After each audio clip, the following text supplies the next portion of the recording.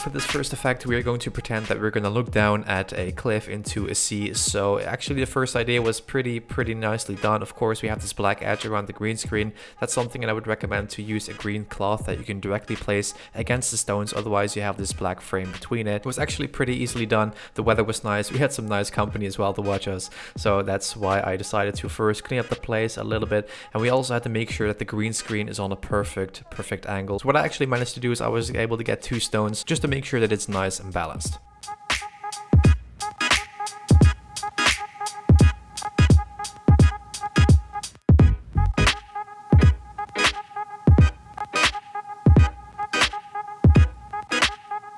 Alright, so this second one is going to be the most easy one to actually perform outside because the majority of the effort will be done in post when it comes to scaling your, you know, dirt or a hole, whatever, to the actual proper angle of the green screen because of course this is not filmed directly from above so you can't just upload any regular photo, but that's just something that has to be done in post. I actually had to lay down the green screen as you can see right here and then I had to look back into the viewfinder and then an actual bee came to say hi.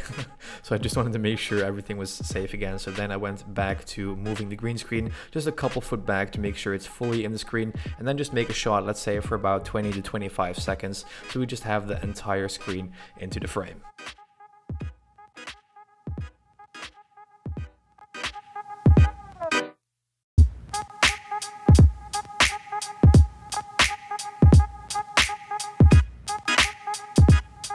Alright guys, so this portal effect is pretty easy to do. I just balanced the green screen against the wall, so this is of course the most obvious one. Who doesn't love portals? It's very simple. Just want to go ahead in the post, make sure to key away the chroma key. Also you want to pretend that you will walk against it and then you want to make a still frame and then you can add in the transition and it's fairly simple to do.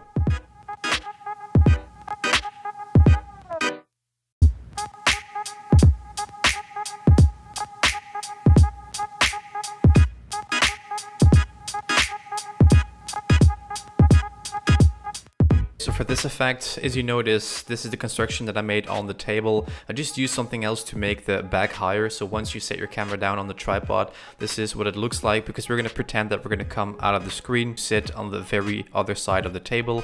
Right there, you can see that if you reach over it, the can will be taken out of the monitor. And you want to make sure that all the lightings are also from all the angles. And then in post-production, you want to crop out the actual segment and then apply the chroma key on it, adjust it to the screen resolution, and there you have it.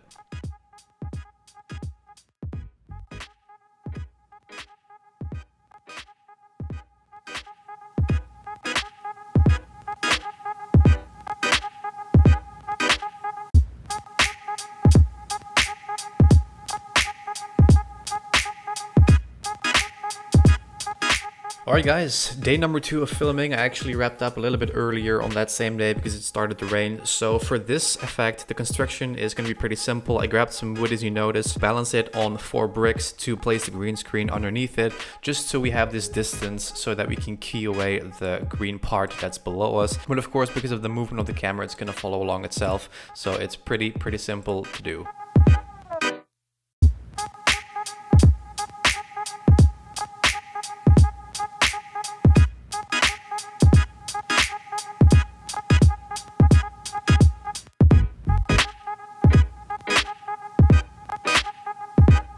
Alright guys, so the shrink effect is going to be pretty, pretty simple. So you want to make sure for this shot that you will be in the green background entirely. Also mask around yourself that the other background of the pink wall right here is gone.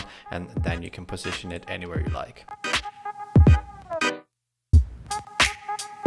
Alright guys, that's it for this video. Thank you so much for watching. Make sure to let me know down in the comments which one was your favorite, which one are you going to recreate and use your own. If you have any more questions, let me know down in the comments down below and I'll see you guys in the next one.